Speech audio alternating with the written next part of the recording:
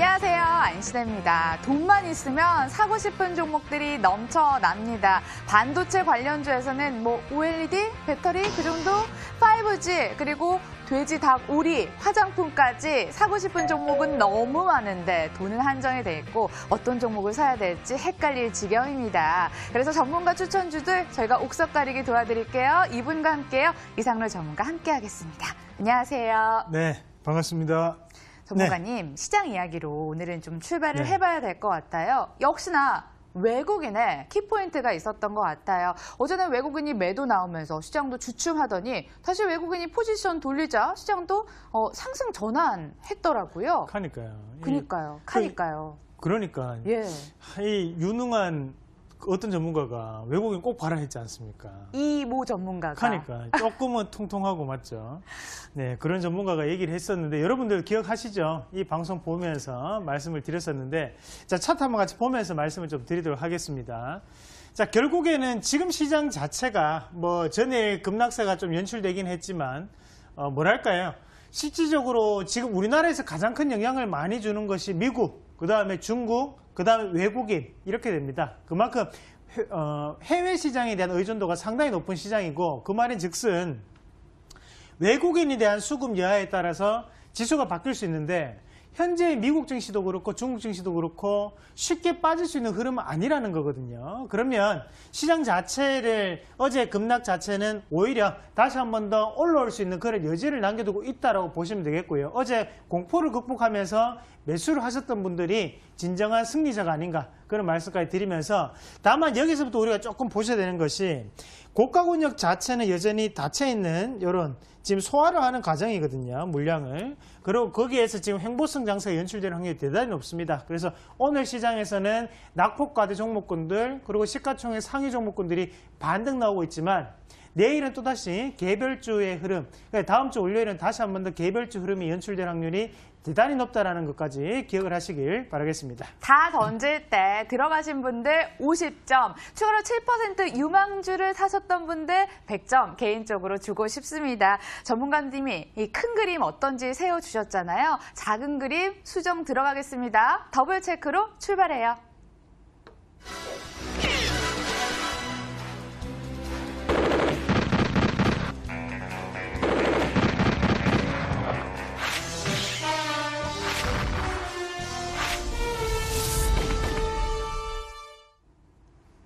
각 방송국 전문가들이 추천 잘했을까요? 우리 투자자들 마음에 들어가서 종목 분석해드리는 시간입니다. 더블 체크 시작이 됐고요. 전일장 추천주부터 함께 만나보겠습니다.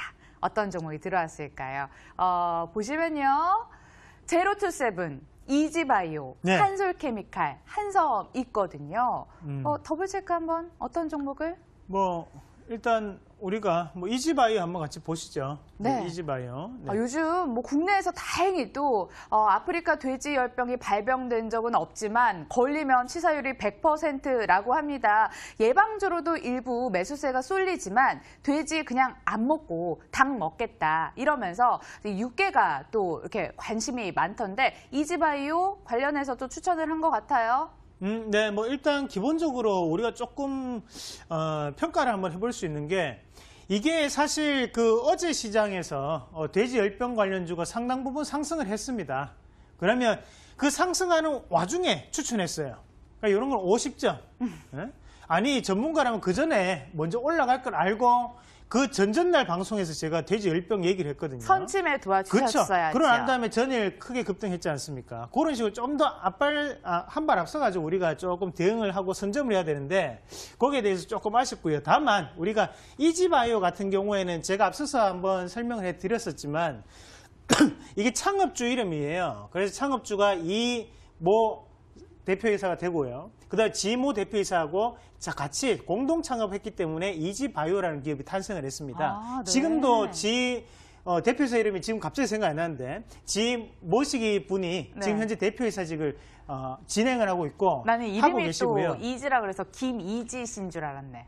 아, 안신혜는 오늘 옷도 이쁜 거 입으셨는데 자 넘어가겠습니다. 네, 자, 죄송합니다. 자, 중국의 돼지 콜레라가 확산되고 있고요. 사실 이 돼지 콜레라가 확산됐던 것은 작년 8월 달부터 진행이 됐어요. 사실. 근데 언론에 대해서 보도가 안 된 것 뿐입니다. 그래서 작년 8월 달부터 중국에는 지금 현재 돼지 열병에 대해서 상당 부분 이슈가 되고 있었던 부분이고 그 부분에 대해서 우리가 이 밑에도 적어놨지만 6월 달까지는 돼지 가격이 꾸준히 오름세를 항상 나타냈거든요. 하지만 올해 같은 경우에는 어, 이런 돼지열병 관련해 가지고 가격이 좀 더 좀 더 수요가 증가할 수 있기 때문에 그런 부분 자체가 어, 감안될 수 있겠죠. 그래서 그런 부분을 같이 보셔야 되는데 차트 한번 같이 보면서 말씀을 좀 드릴게요. 예, 어제 9% 네. 넘게 오르면서 7,000원 선을 강하게 돌파했습니다. 지금도 조정이 일부 나오긴 하지만 네. 7,000원 선 위에서 거래되고 있거든요. 자, 어, 여기 한번 보시면 어, 이지바이오 같은 경우에는 한번 일전에 설명해 드렸던 종목군입니다. 그러니까 6,000원대를 바닥을 다지고 난 다음에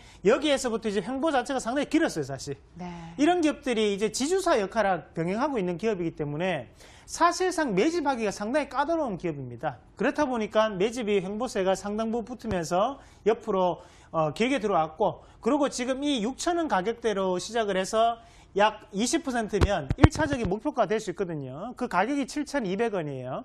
그러면 그 7,200원 위로 올라가자마자 지금 차익 매물이 나타나고 있다고 보는 게 맞겠죠. 그러면 결국에는 이런 종목군에 대해서 우리가 공략을 하려고 하면 다시 한 번 더 매수를 할 때는 이 7,200원 밑에서 다시 한 번 더 눌림목 권역에 접근하셔야지 지금은 단기적인 차익 매물이 나오는 자리거든요. 거래량도 다시 한 번 더 전일도 크게 나오고 오늘 같이 나온다는 것은 그 부분 자체를 좀 더 기억을 하시면서 하단에 7,200원 밑에서 공략을 해볼 수 있는 그런 전략적인 부분으로 말씀드리도록 하겠습니다. 추세적 상승으로 넘어가고 있는 종목은 맞습니다. 추세적 상승까지 기대를 해볼 수 있다고 합니다. 의견 일치 나왔고요. 여러분들도 함께 어, 기대를 해보도록 할게요. 이어서 따끈따끈한 금요일장 추천주도 만나보도록 하겠습니다. 전문가들 입에서 바로 나온 종목입니다. 멀티캠퍼스, 이노메트리, 네. 코리아 서키트, 뉴트리까지. 음. 아, 근데 이 진짜 우리가 네. 개별주 장이지만 진짜 어떻게 보면 구석에 있는 것들을 한 개씩 꺼내가지고 들어오시니까 이걸 종목을 종잡기가 힘듭니다. 자, 일단은 뭐 한번 같이 볼까요?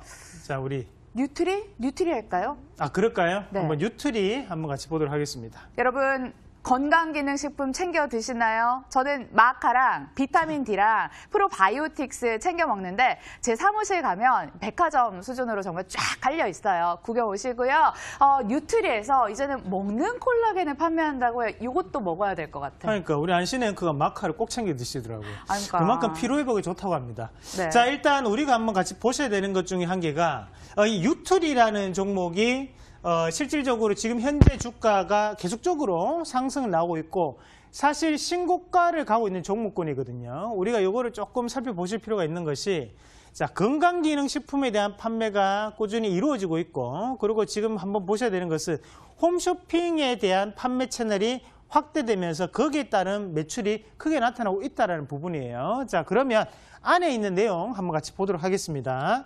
자, 차트 한번 같이 보시면 지금 상장되고 난 다음에 주가가 상당부 바뀌었는데요. 주가 대비 50% 주가 올랐잖아요. 네, 맞습니다. 그리고 지금 가격대를 한번 같이 보시면 지금 상장될 때 가격 자체가 한 13,000, 14,000원 부근이 됐죠. 그난 다음에 지금 주가가 24,550원까지 올라왔으니까 어, 뭐50% 이상 올랐죠, 사실.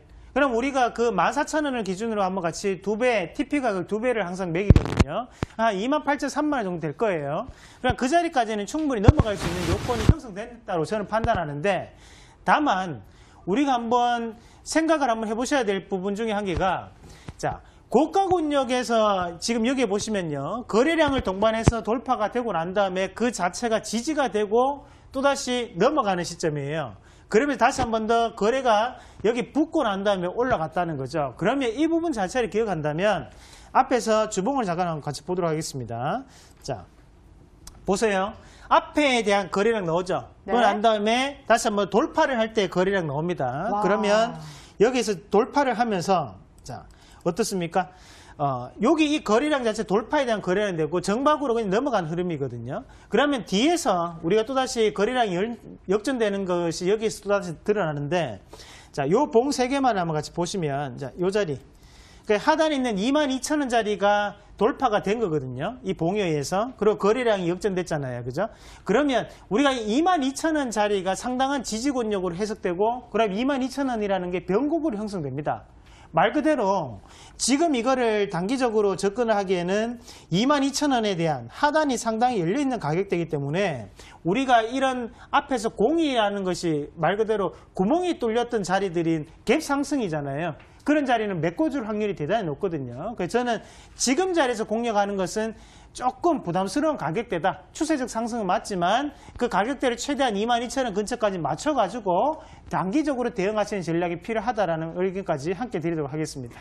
네, 요즘 정부가 또 대형 마트라든지 백화점에서 자유롭게 건강기능식품을 판매할 수 있도록 분위기를 조성하면서 주가에 호재가 될 수 있을 것으로 판단이 됐지만 아무래도 또 놓여있는 자리가 부담스러웠다고 합니다. 22,000원 선은 좀 지지 여부를 확인을 하고 그때 들어가시는 게 좋을 것 같습니다. 뉴트리 동상이몽 안타깝지만 의견 찍혔고요. 자, 이어서 오전장에서 또 한 종목 만나보도록 하겠습니다.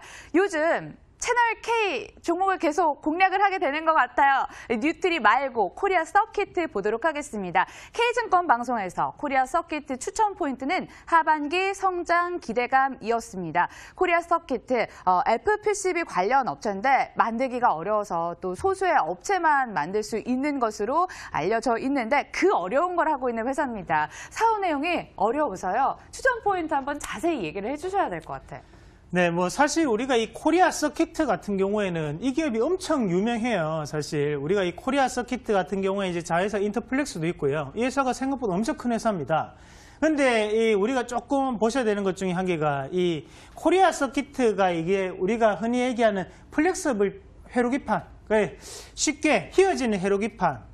쉽지 않죠. 아시네, 앵커님 표정이. 그렇죠. 그러면 그 FPCB를 만든 업체인데 기억을 하셔야 되는 것이 PCB라고 하는 것은 딱딱한 겁니다. 말 그대로. 그러면 네. 그것을 주로 쓰는 것은 뭐 냉장고, 공기청정기, 세탁기 뭐 이런 움직임이 없는 물건에 PCB 판이 들어가는 거고요. 그런 FPCB라는 것은 충격이 어느 정도 완화될 수 있는 장치에 들어가는 거거든요. 그러면 뭐 스마트폰이나 태블릿이나 이런 부분이 되겠죠. 어, 일상생활에 더 많이 쓸것 네, 같아요. 맞습니다. 그러면 실질적으로 이런 기업들이 주가가 좋게 나타나려면 어디에 납품이 들어가야 되겠어요? 큰 회사. 그 삼성이라든지 애플 또는 LG전자 무조건 들어가야겠죠. 그럼 실적이 좋아지겠죠. 그럴 때는 실적이 엄청나게 좋아지면서 주가가 쫙 올라갑니다. 근데 문제는 어, 우리는 또 이런 복합적인 어, 사업 구조를 가진 거를 우리 또 대기업에서 싫어하는 기업들이 간혹가다 좀 존재를 해요. 그렇다 보면 이 코리아 서킷 같은 경우에도 뭐 그 우리가 애플이나 삼성 둘 중에 또 한 군데를 골라야 될 수도 있고 고르고 난 다음에 어, 거기에 대해서 또다시 여기 거래자가 유지가 안 되면 매출이 크게 또 다운돼 버리거든요. 지금은 그런 상황 자체가 발생했기 때문에 지금 현재 주가가 그만큼 빠졌다고 보시면 되겠고요. 차트 한번 같이 절대적으로 보도록 의존을 하겠습니다. 했었나 보네요, 고객사에. 아예 예. 이게 의존을 할 수밖에 없죠. 우리가 뭐 이런 회사들이 뭐 완성품을 만드는 것도 아니고 어, 어제 거기에 해로기판을 납품한 업체들인데 자 주가추 한번 같이 보겠습니다. 답답해요. 네. 주가가. 네, 맞습니다. 자, 이게 고가군력 대비해서 주가가 상당 부분 빠졌고, 그리고 우리가 이런 기업들이 앞에서 이제 인터플렉스를 잠깐 한번 비교해서 말씀을 드릴 텐데, 음, 자, 이런 기업들도 한번 같이 보세요. 고가군력 7만원까지 찍을 때는 애플하고 삼성에 같이 납품이 들어가다가 주가가 이제 이렇게 빠지는 거죠. 마찬가지로 지금 코리아 서킷 같은 경우에도 어, 느 정도의 매출처를 조금 확보하는 게 지금 중요하다. 그렇게 보는 거고요. 다만 지금은 가격적인 부분에 의해서 반등에 대한 여지는 나올 수 있다. 그렇게 말씀을 좀 드릴게요. 어, 대신에 여기서 추가적인 상승, PCB, FPCB 판에 대한 수주나 아니면 발주에 대해서 관심을 가지고 계시는 분이라면 이 종목보다는 뭐 대덕전자라든지 아니면 삼성전기라든지 그런 종목군으로 갈아타시는 전략이 훨씬 더 낫습니다. 그렇게까지 말씀드리도록 하겠습니다. 교체 추천 나왔습니다. 대덕전자 삼성전기 이야기 해주신 것까지 한번 기억을 해주시고요. 드디어 오래 기다리셨습니다. 7% 유망주 어떤 종목일까요? 자, 오늘 준비한 종목은 DTNC라는 종목을 말씀을 드릴 텐데, 요거는 그림 한번 같이 보면서 말씀 좀 드릴게요. 사실 우리가 이제 DTNC, 영어로 어, 한글로 DTNC라고 써놓으면 조금 어렵습니다. 그래서 말 그대로 그냥 DTNC 뭐 영어로 이렇게 되는 기업인데요. 여기 보면 이제 전기 전자 기술 서비스, 뭐 바이오 기술 서비스, 금융 서비스 적어놨는데 어, 우리가 이제 스마트폰 같은 거를 이렇게 보시면 거기에 전자파 시험 인증을 거쳤다. 이런 식으로 전자파 시험 인증, 안전 검증 뭐 이런 도장이 찍힌 것을 많이들 보셨을 거예요. 그런 인증 서비스를 하는 기업이 바로 이 DTNC라고 보시면 되겠고요. 이 DTNC가 얼마 전에 5G 정식 개통 서비스에 대한 시험 인증 기업이었습니다. 그러면 결국에는 5G가 우리가 4월 달에 개통됐잖아요. 그럼 거기에 대한 시험 인증은 언제 했겠습니까? 1, 2, 3월 달 했겠죠. 아, 그러면 실적이 반영됐겠다. 아, 그렇죠. 그러면 네. 당연히 실적적인 분위기에서 전환이 가능하다라고 보는 거고 주가 추이 한번 같이 보시면요. 자, 지금 제가 한번 주봉 한번 눌러보겠습니다. 주봉을 한번 같이 보시더라도 앞에서 상당 부분의 고가 권역이 분포를 하고 있거든요. 그럼에도 불구하고 오히려 2019년도에 여기서 더위로 빠졌어요. 그러니까 1, 2, 3월 달에 주가가 더 안 좋았다는 거죠. 왜 안 좋았겠습니까? 바로 인위적인 하락 구간이 발생했다고 봐야 되거든요. 그러고 난 다음에 지금 다시 한 번 더 실적에 대한 선매수가 들어가면서 주가는 지금 넘어가고 있는 시점이기 때문에 저는 지금 자리에서는 공략을 한번 해볼 필요가 있다고 봐요. 지금은 어, 우리 이 실적을 한번 같이 보면서 말씀을 드리도록 하겠습니다. 실적에 대한 기대감이 있는 아, 네네 종목인데, 맞습니다. 예. 그 매수가는 11,300원, 11,500원, 그리고 손절가는 하단에 1,800원 제시해 드리도록 하겠습니다. 매수가 11,300원에서 11,500원 부근 들어가셔서 위리, 위로 7% 한번 노려보고요. 어, 손절 라인까지 얘기를 해주셨는데 1,800원 염두에 두시면서 대응하시길 바라겠습니다. 오늘 동상이몽 나온 종목도 있었고 더블 일치 나온 종목도 있었는데 그중에서도 이상로 전문가의 top pick은 바로 디티앤씨였습니다. 관심 있으신 분들은 방송 끝나고 또 열심히 연구해 보시길 바라겠습니다. 저희 이렇게 더블 체크 함께 했고요. 여러분들 주말 잘 충전을 해 오시고 월요일에 저희 다시 만나도록 해요. 끝까지 함께 해주신 여러분 고맙습니다.